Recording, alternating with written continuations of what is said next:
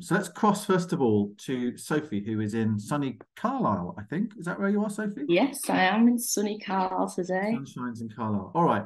Well, Amy will get your slides up when you're ready, Sophie. But as I said, you're doing great things at university, and it's fantastic you've come on to tell us what it's all about. So the floor is yours. Thank you. Um, so just while we're getting the PowerPoint up, I just want to say thank you to Tom and everybody else involved in the Arts and Culture Network for allowing me to come on here today and kind of share with you uh, what myself and Molly are doing and explain a bit more about our new collective SOMO. So, there we are. Um, okay, so SOMO is essentially I am Sophie, one half of SOMO, and Molly is the other half who can't be with us today. But we are an art based collective and we just completed our Bachelor of Fine Art degrees at the Uni of Cumbria uh, in June, and we are set to graduate next month, which is very exciting. Um, so, next slide, please, Amy.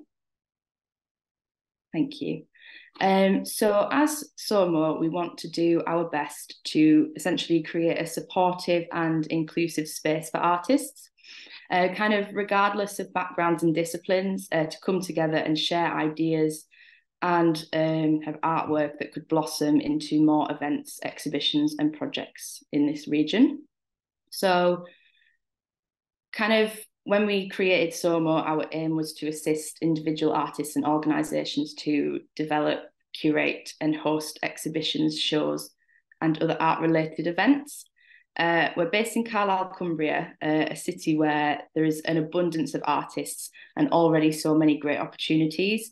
So we want to kind of strive to create those even more kind of opportunities for ourselves and our peers and host spaces that allow people to exhibit their works. Uh, I live near Appleby, so I am like an hour away from Carlisle usually. And I feel like kind of sometimes the first, I actually live in Brough, but not many people ever know where it is. um, and kind of there's not as many opportunities there in those small villages as there are here. So it's kind of us coming together in Carlisle, but also aiming to kind of spread those opportunities and those ideas further. Um, next slide, please. Thank you. Um, so this slide shows kind of a montage of people and organisations that we've worked with uh, so far up to now. Um, it kind of all started throughout our second year of university when we began working closely at events and um, Daniel Ibbotson came into university to do a talk about um, how he needed two people to help him at Manchester Art Fair. So we kind of jumped on that opportunity because we'd never been to an event like that before, and we just thought it would be really kind of eye opening and inspiring, especially in our second year as we're starting to think about what we wanted to do uh, for our degree shows. So we went to Manchester Art Fair and we represented Daniel and Malcolm Wilson's uh, stand. And then, kind of as we progressed through our studies, um, Daniel went to Glasgow Art Fair, so we helped him there. And um, we kind of continued to volunteer at various art events and venues. In May 2022, we assisted uh, Stuart Roy Clarke, who's the gentleman on the bottom left there. He's the founder of Homes of Football. Um, one of his main kind of uh, roles that he does is he photographs a lot of football culture and he did an event at the old fire station uh, where Mick Wadsworth came in and did a Q&A and it was um, also a charity event to raise money for Eden Valley Hospice. So me and Molly kind of took on organising that event and maybe essentially you could say we did all of those behind the scenes things like we um, organised the raffle and you know the decor and the kind of schedule of the event and all of those kinds of things that were involved.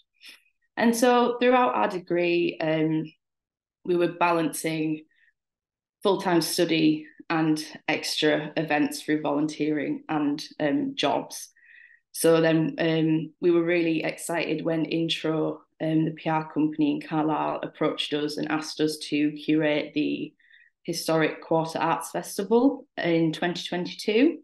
And this was off the backhand of us helping Daniel at Manchester he put our name forward. And so it was just kind of really proved to us that the importance of creating those networks and communicating with people and taking every opportunity you can. Because if we hadn't helped, sorry, if we hadn't helped Daniel, then Intro wouldn't have approached us for that opportunity. And so, like I said before, we do know that there are already so many opportunities in Carlisle. And I think, for example, the historic Quarter Arts Festival was a really important one for us in that it pushed uh, artists of all skill sets and all experiences, regardless of whether people were full time artists or doing art as a hobby. And that was kind of from there onwards that Molly and I felt that we worked quite well together. Um, kind of that like good energy that comes from two people who like bounce off of each other in a way and really play to each other's strengths. And that was when we decided that after university had finished, we would really try and push this idea of working together as SOMO, and it became something that we can kind of see ourselves doing. And I think we have on our side as well, being recent graduates, and during our time as students, it was quite difficult to know where to look for an art opportunity. Um, and as well, not just the opportunities, but what is accessible for a student and affordable for a student or a graduate. And so it's kind of one of the things we want to do is bridge that gap between students, graduates, and the working world. Because if you aren't sure where to look and you've just come out of uni and you're studying full time, it can seem quite daunting. And so that's one thing we're trying to do through through SOMO. Um, next slide, please. Um, so this is kind of another, just to give you a bit of more information about um, ourselves. Um, in our third year of university, um, when we were considering that SOMO could be something we try and develop af- after our studies, we also explored uh, collaboration through creating art. Um, so we were combining both of our projects to create new pieces. So just to give you a brief idea, my degree show project was based upon um, destruction in order to create. So I was really heavily influenced by a book called Destruction, a Whitechapel Gallery book, and that discussed um, destruction as a creative process, so artists that destroy to create. So I thought, oh, maybe it would be funny for me to destroy the book instead. Um, so my project was all about destruction, and then Molly's was all about um, language and text and how many times do you repeat a word before it loses its meaning. Um, so hers was about communication. So the piece on like the top right, and um, black and white piece, obviously from the front it, it's not a legible word, but from the left the piece says destruction because it's all it's like raised, um, like little triangles. So from the left, it says destruction. And then as you walk around on the other side, it says information. So that was kind of that idea. And then the bottom right, we painted a piece that said communication is key. And then we kind of sliced it up and um, rearranged it because it was that whole idea of if something works the way it is, like the book Destruction, why destroy it? So it was kind of just like a conceptual kind of idea. And then on the left we were let loose with a little like propane um, thing and we just kind of had a bit of fun destroying canvases. So that was just kind of um, but kind of the point of this slide is to just explain that we wanted to expand our ideas on what collaboration was. And it's not just as two people who are working together in like a professional sense but also to people who how do we communicate differently and what different conversations happen when we create art together instead. Uh, so next slide, please. Thank you. Um, so we are currently artists in residence at the Uni of Cumbria, and we are using this opportunity to connect, hopefully connect with new people and organisations, and build up our collective and establish our aims and our goals. Um, we also interact with students, which we find is like quite well a very important part of it because um, like on Monday next week we're going into university to do a crit with the students, and I think from our perspective as well, um, even if we can't, even if we have a conversation about a student's work and they can openly talk critically about the work, even if we can't necessarily, you know, guide them the next steps, we know the value of just talking about where your project is and where you think it's going. So I was having a conversation when I was on campus yesterday with a student. He asked me to just like talk to him about work. And I was just kind of asking him like, like why did you do this or why you know that kind of thing why are these together and that he came away feeling like he'd had quite a valuable talk because you can sometimes get so pinned in on your own ideas. I feel like everybody can relate to that. Um that it's like helpful to kind of come away and just look at it from a different perspective. One thing we kind of learned throughout uni is the importance of um, distancing yourself from your own work and your own projects. Because if you kind of get yourself too tied in then you know if if you're talking about it critically or if someone comes along and is giving you advice you want to take a positive spin on that rather than get yourself all kind of you know bothered about it. And um, so yeah we just want to kind of give students the opportunity to talk about their work and we can offer guidance any artists research and kind of our own knowledge. Um, so this slide kind of shows a few pictures of things that we have done in the past and um, collaboration and community really are our core principles and we want to uplift our peers and contribute to this already positive creative community that exists in this area of Cumbria. Um, with us being the artists in residence, we have a mentor who um, was mentioned before is Karen Jones. So she kind of offers a lot of expertise and support on um, how we can get ourselves out there and communicate with people. And um, we're also so open to people reaching out to us with suggestions and ideas because we know that we haven't just come straight out of uni and know everything. There is a lot more that we need to kind of, you know, develop and build on. Um, next slide, please. Thank you. Oh, I'm not sure the email address isn't showing up on there, but I'll uh, I'll just tell you anyway, or I'll put it in the chat.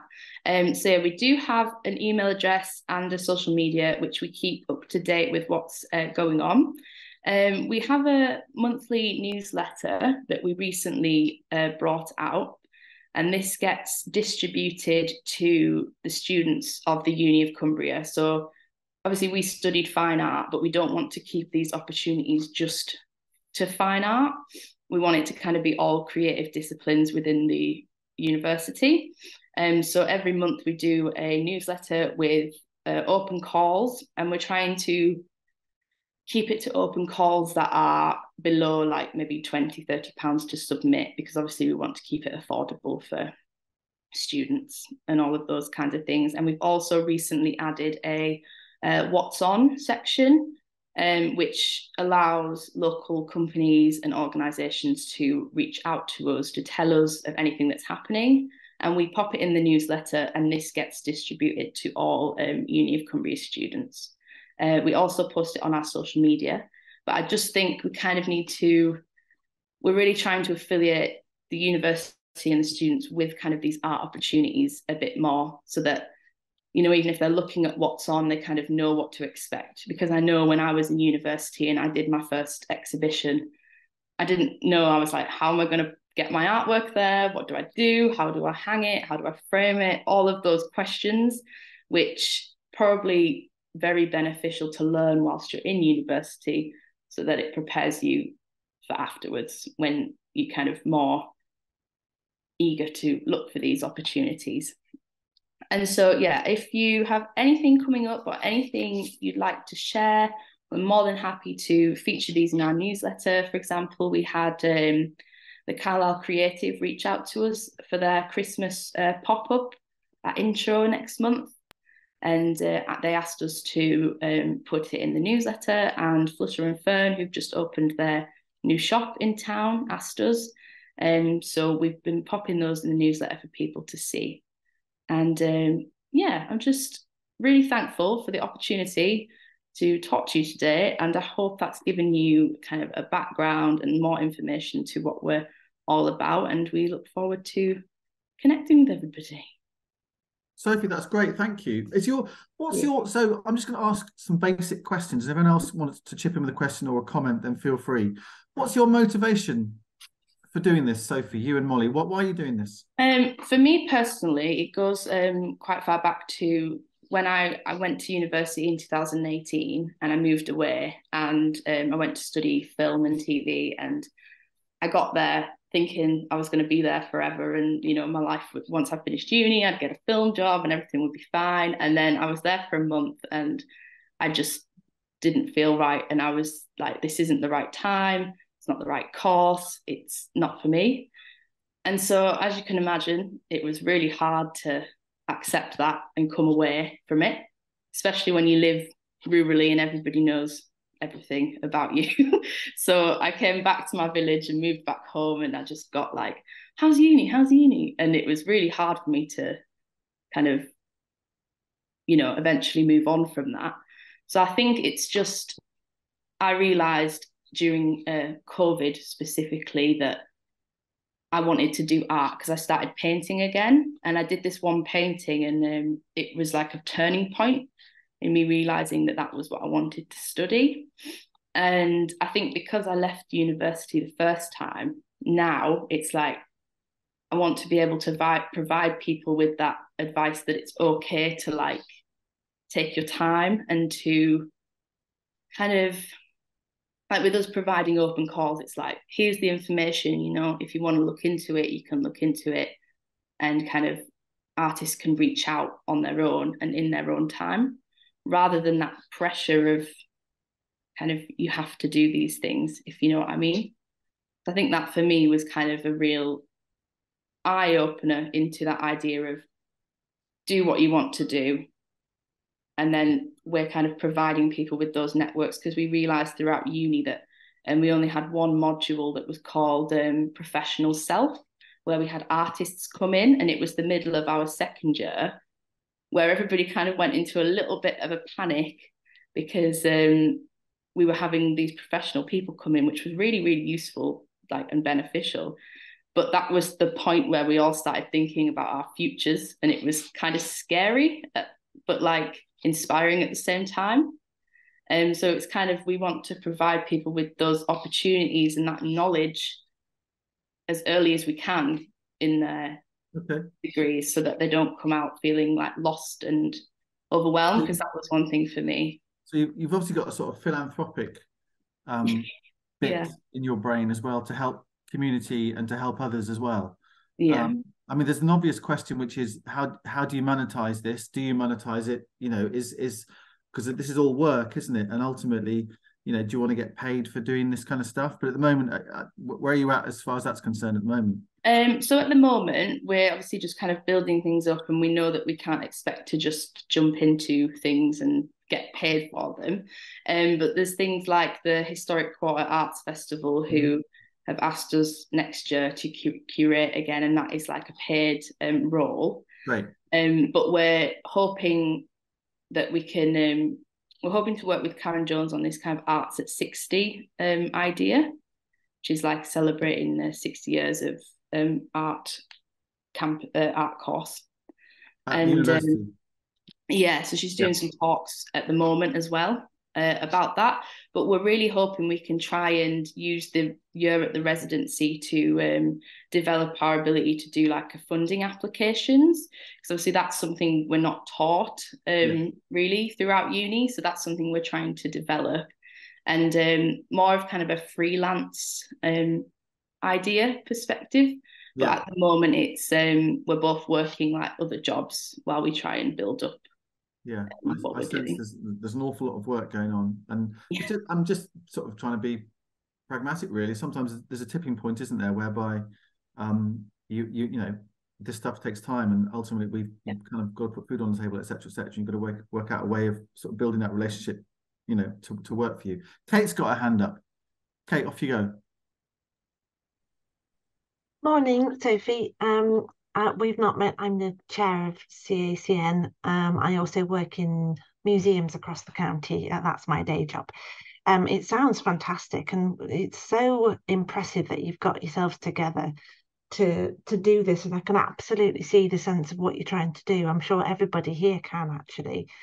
Um, it makes total sense that this kind of bridge between your experience as a student and the working world, which is difficult in any sector, but especially so in in fine art. Um, so I just wanted to say that you're really welcome to CACN and if there's anything we can do to help you, we will. But I would, you know, in particular, make sure that you're receiving the newsletter.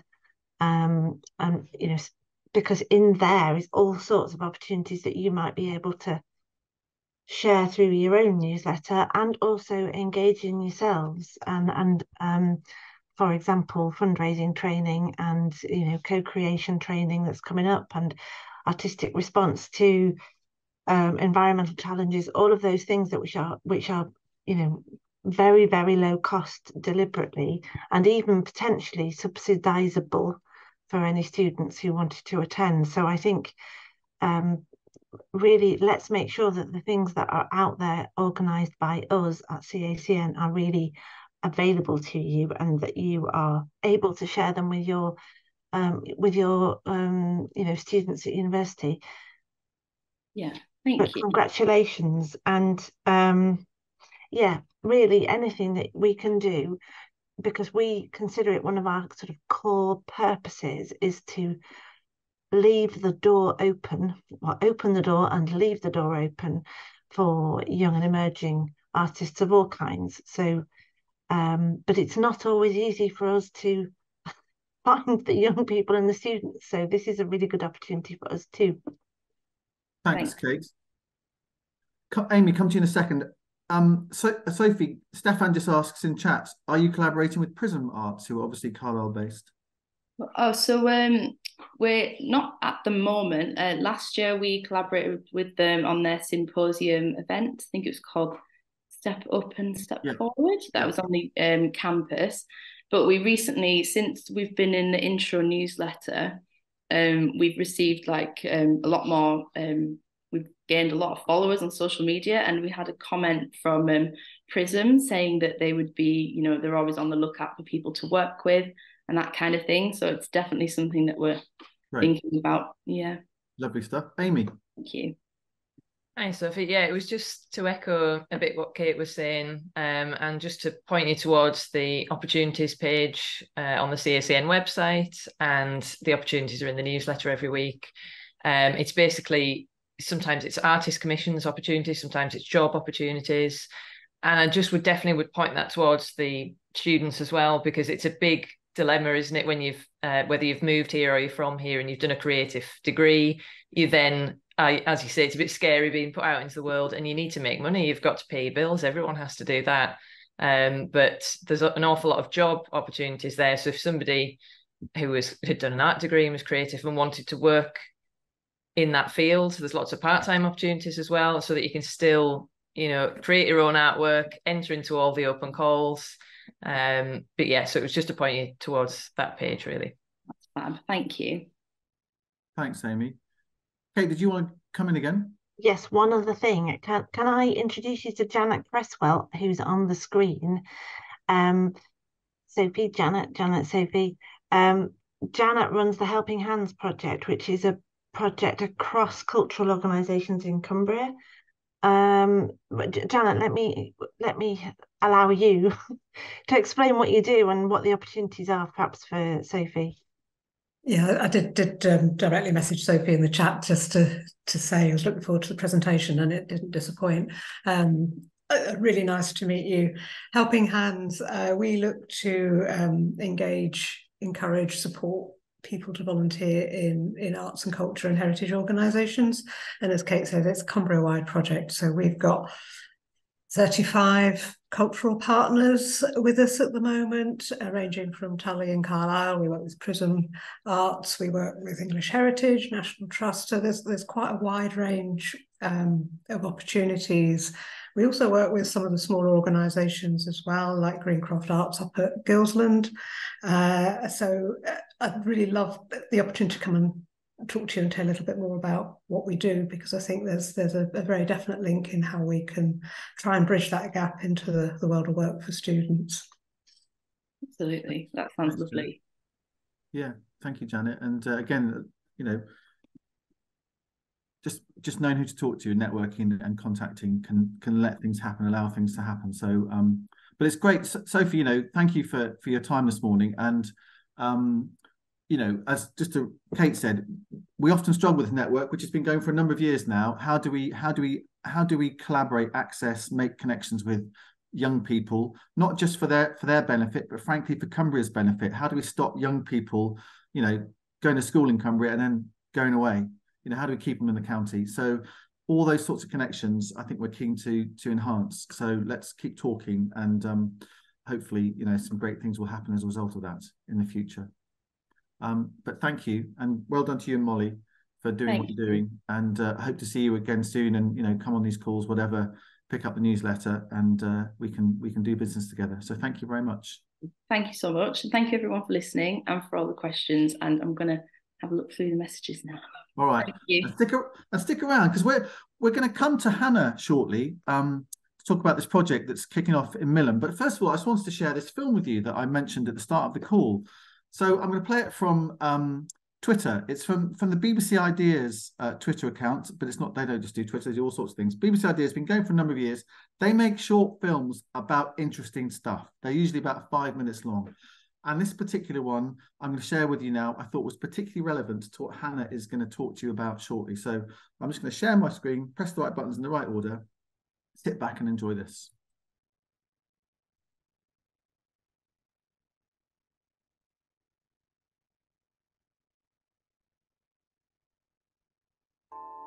You might think about kindness as being this quite soft, fluffy, wishy-washy thing, but actually is really fundamental to how we connect with each other. I think being kind is part of the purpose of being alive. Acts of kindness are needed in the world right now more than ever.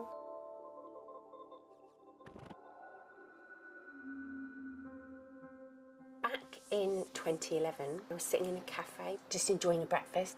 And I looked up at the screen and there was a double decker bus on fire in London. It was terrifying. It looked like civil war. And it was a very negative response to the riots that really upset me as well. I felt increasingly despairing about what felt like the enormity of the problems of the world. I didn't know what I could do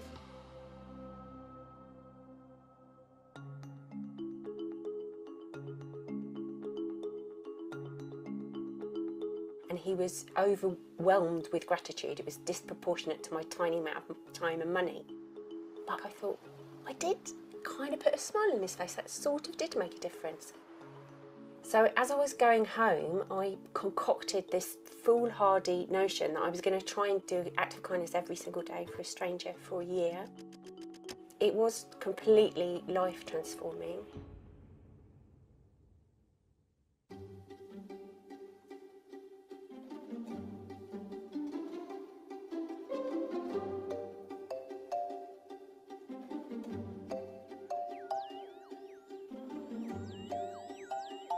It's one of the big paradoxes of kindness that an act of kindness that is intended to benefit others actually has some positive consequences for yourself. There are patterns of activation in the brain which correspond to a boost to well-being. The reward pathways in the brain are activated when people are performing kind acts.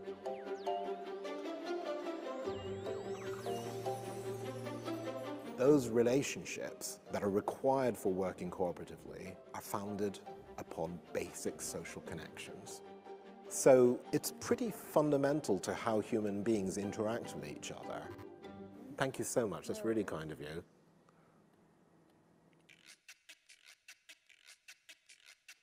Uh, oh yes, so over the course of the year it proved itself to be utterly heartwarming completely terrifying, occasionally expensive, sometimes physically hazardous, like when I carried some really heavy shopping over four miles to a lady's flat.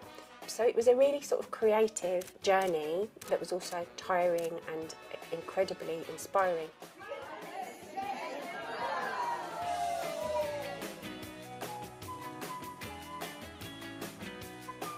I was like high every day. Mostly it was kind of a warm glow around your heart and also your tummy. So it just felt really good.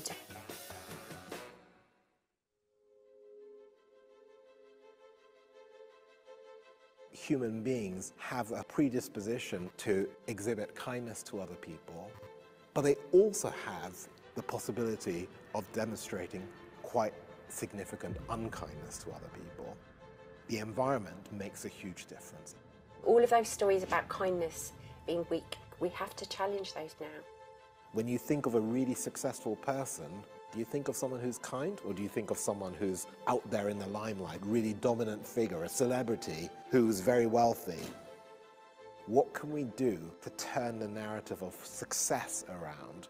So he said actually being successful does involve positive relationships with other people.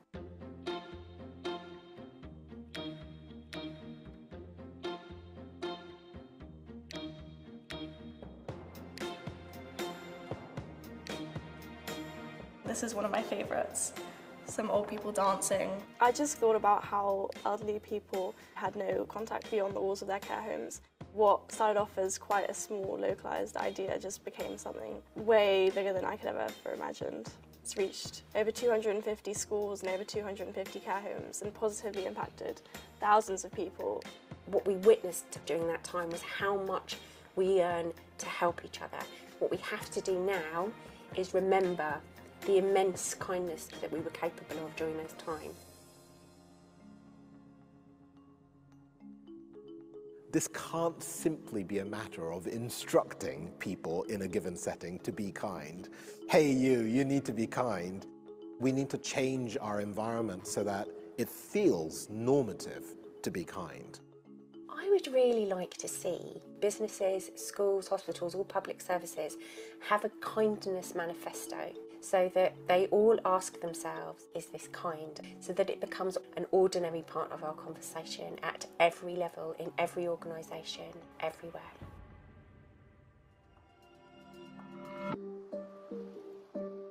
The biggest lesson for me was to embrace the fact that every single day I can do something. That thing might be just saying good morning to someone, that thing might be just smiling.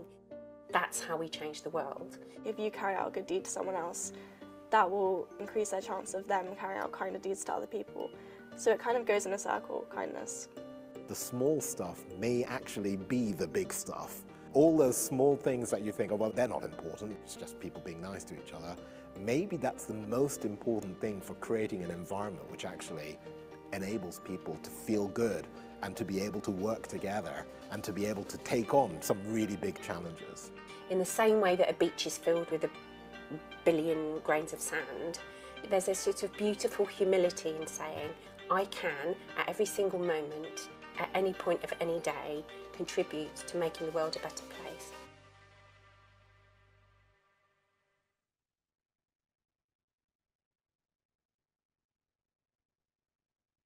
Thank you for indulging me in sharing that with you. I watched that and found it to be a lovely little film, and it made me think about things a bit differently. So, uh, on that bombshell, maybe the little things are actually the big things. I'm going to hand over to Hannah, who is running a project called, thank you, Jesse, called All Kinds in Millom. Hannah, the floor is yours. Hello. Hi. Hi. Um, so, um, gosh, yeah, that was a that was a really good video. Um, and it sort of sums up um the kind of thinking behind this project, I guess. Um, so could we do a screen share, Tom? Thank you.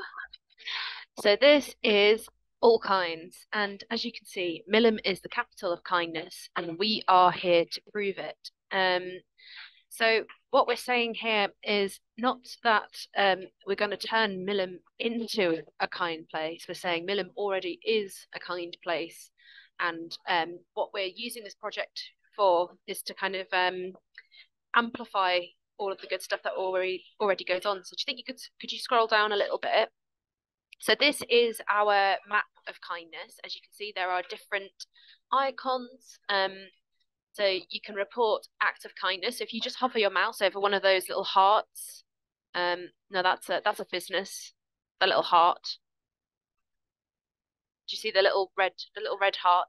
Um, so you can click that, and it brings up um, a act of kindness that someone's reported on. So it says one of the lovely shopkeepers took time out of their busy day. It made me feel so welcome, chatting to me, and it made me feel comfortable and seen. So you so anyone can add to this map and report on kind acts that they have witnessed, experienced, or even done in in this area. Um, so that's that's the sort of the um, kind of one aspect of the project. And then another aspect is all about um, encouraging creativity um, and on a sort of um, grassroots level. Um, so what we're doing is we are offering free pebble painting workshops uh, to any um, local community group that already exists because there are a lot of groups, um, there are a lot of services, but they're all um, really quite badly underfunded. Um, and they don't really have the resources to provide um, kind of activities and support. Um, so oftentimes you find that people who live around Millom and sort of southwest Cumbria in general, they have to they have to drive up to Egremont, Whitehaven, or even Carlisle in order to sort of take part in any kind of activities. Um, so we want to bring um, creative, family, um, pensioner friendly activities right there. Um, so you can see there are a few workshops booked in. So we had one yesterday. Uh, that was a drop in for half term at the Millom Heritage and Arts Centre, and we had 45 people come in over the course of three hours, which is amazing. It's an amazing turnout. Um, and we ran out of pebbles, which is also amazing.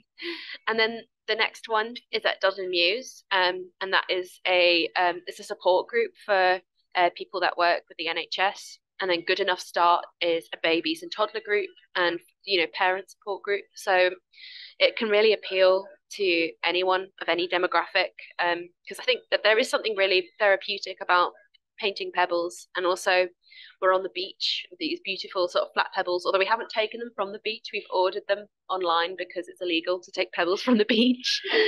Um, and so but it kind of connects people to their surroundings. And then the sort of third aspect of um, of our project is called all kinds of businesses. And this is um, in in my head the part of the project that I'm actually most excited about because um, what we are trying to do is we're trying to um, bring community elements to um, like spaces that are purely business focused. So if um, any business owners sign up to um, to this program, essentially, um, we'll give them one to one mentoring and help um, and resources to develop a sort of community uh, slant in what they're providing. So, for example, um, we've got Salt Fish and Chips signed up. Um, they're in Seascale, and we are going to be um, we're going to be running a sort of uh, regular music showcase and open mic um, in their premises, um, which is something that they might not have had the time or resources to start on their own, but with you know with with with our support, um, they'll be able to get it up and running and um, some other sort of things that we can do is, is, sort of we can paint a wall with a community mural in someone's shop. We could set up a reading corner um, in a hairdresser.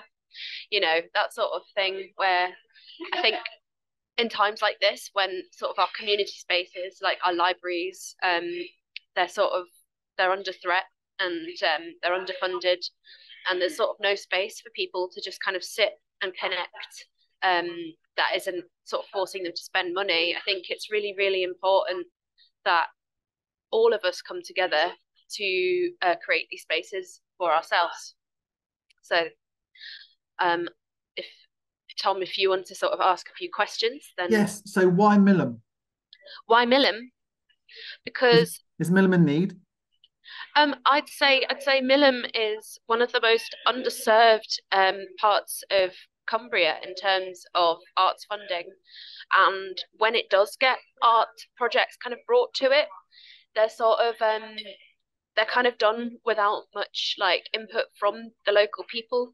And there is this kind of assumption that people in Millom don't really care but they really do. Um, and you know there's been a lot of decisions made for Millom um, which haven't involved people that actually live there. And so I want to do this um, for my community essentially um, bring the funding into the community actually use it for the community rather than just doing something that people won't relate to. It's about, you know, improving my area really. It's a bit selfish, I guess. Not at all. And how will you know, you know, whether you've had any success or any impact? I think um it's impact is one of those things that is so difficult to measure because um is it about how many numbers you get? Is it about, you know, how many people in a certain postcode attend? Or is it about how many people attend again and again? Um, I think it's it's one of those things that you can't actually quantify impact. It's it's something that you sense growing over time. For me, a big sign that what we are doing is working is that I see people putting on things of their own without any input from me. Um, what I want is a is a society, a community where everyone has a project that they feel like they have a confidence to bring into action and realize. And I don't want it to be connected to me. I want them to. I want everybody to do their own thing uh, independently. Yeah. Great. Um, and as as Amy says there, great idea to get businesses involved, changing that idea of what success actually is. Um, and if you become an enabler and and empower, which I think is what you're saying, Hannah, that's a huge that's a huge success. You know, it's like the Albanian sort of economic pyramid. I always think of just you know get other people to influence other people. Um, yeah, that's, that's that's the that's the holy grail, isn't it? Really. Yeah, I'm quite I'm quite inspired by Maslow's hierarchy of needs as well, and I think I'm a firm believer that um, you're not going to get any creativity or self actualization out of people whose fundamental basic needs are not met. Um, and it's um, I think it's it's it's really important that what we provide it doesn't i mean because at the end of the day we are an arts organization and we can't provide people with housing and we can't provide them necessarily with like you know regular food or shelter but but what we can do is we can provide them with connection a listening ear. We can hold space for each other. And I think when you start sort of small, simple tasks, just being nice to each other, just listening, letting people talk, I think you'll find that over time their ambition will increase um, because they'll once you've given people that sort of grounding of like not necessarily therapy, but like you know when someone feels held and heard, I think their self esteem increases. And when their self esteem increases, they're more likely to push the boat out, try new things, be a little bit more daring. And that's what I really, really want to see happen in my area. I want to see people, I want to see like events popping up all over, you know, Facebook uh, saying, I'm going to be doing a, you know, one off one man show uh, stand up comedy routine. I've never done it before, but I'm going to give it a try. Uh, or I want to see people saying, like, let's let's decorate all the lampposts I want to see, um, you know, art galleries pop up in blooming, you know, banks. You know, I want to see it's like guerrilla radical creativity, um, done by the people, not by the government. Excellent. Um, great stuff, Hannah. Jonathan's just put some thoughts in there um, and Jesse there as well in chat. So do have a look at those. And I'm a massive fan of the Norman Nicholson Society. I, th- I know I think I mentioned this to you before, yeah. which are who are in the process of buying his old house where he lived. Um, a guy called Charlie Lambert is is, is spearheading that, um, and I think they they could be a really important part of the artistic infrastructure of, of and beyond. I know Kathleen knows all about this as well. Um, yeah. So uh, yeah, I hope you're connected to all the important people in Millom. I'm sure you probably are, or if not, you you are get on that journey. Um, but I can also see you as being a fulcrum of lots of lots of great stuff taking place as well. So, has anybody else got anything they just want to mention to um to Hannah while she while we've got her? There's a few bits in chat there, Hannah, for you to pick up. But you know, I think um, yeah, I'm just, I'm just having a little read. Stefan, off um, you go, Stefan. Oh, hi.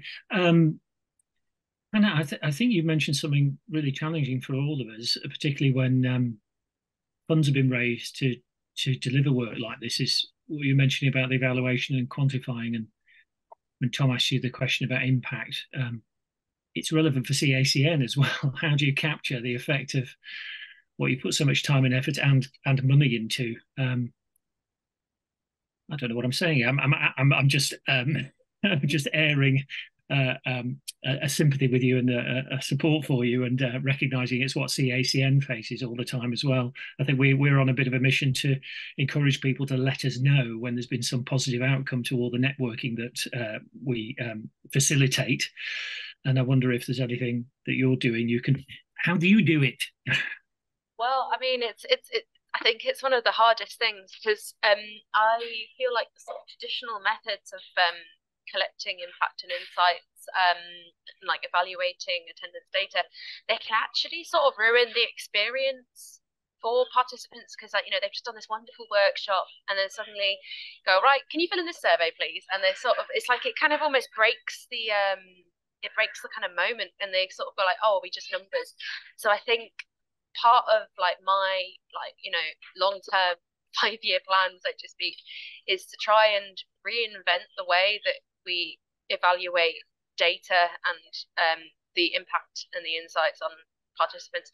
And, and i know this is this isn't something that i can even come up with overnight. And um, i mean it's it, i think it's something that actually would benefit from further discussion like among you know all of us everyone who kind of is a kind of facilitator and works in like participatory art. i think it's something we need to we need to rethink and uh, recalibrate because there's so many different types of engagement as well and they all form strands of like a bigger picture because you get the one-off participations you get people who come to a thing every single week and you can sense them growing as a person and um you know how do we value the you know the impact that you have on someone's soul.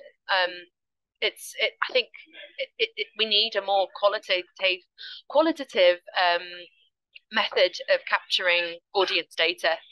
I I agree, Hannah, and there's maybe probably a call, if not a meeting, all about evaluation. How do we do it?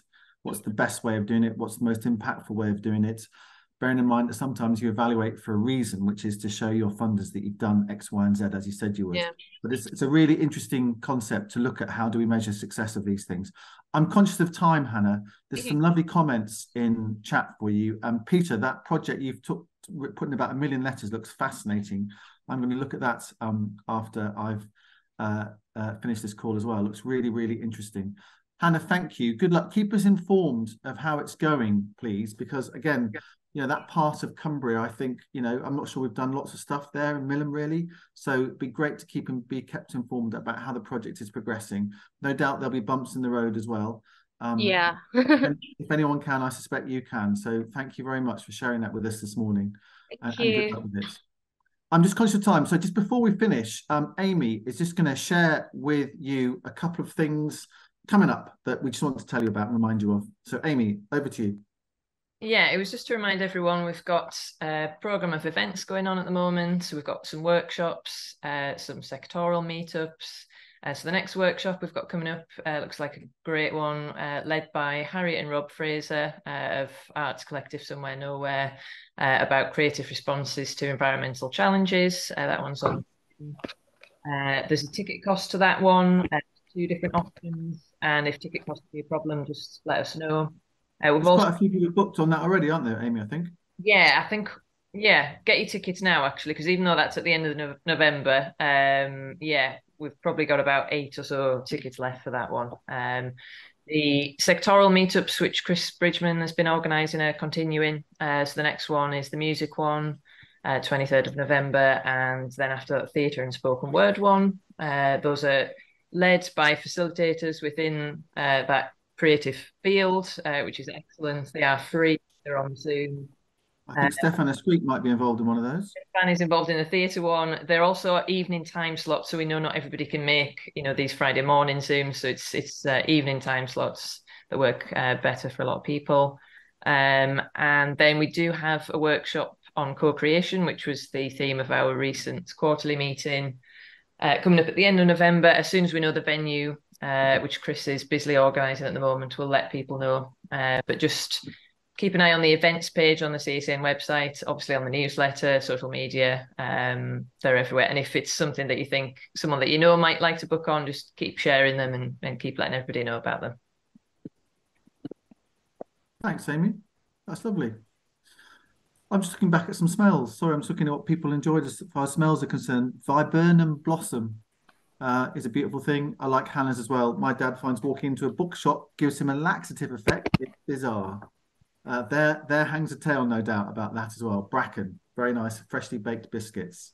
Um, so some lovely smells just to leave you with as you enter your Friday properly now. Uh, thank you very much to Sophie um, for telling us about SoMo creation. Thank you very much to Hannah for telling us about all kinds.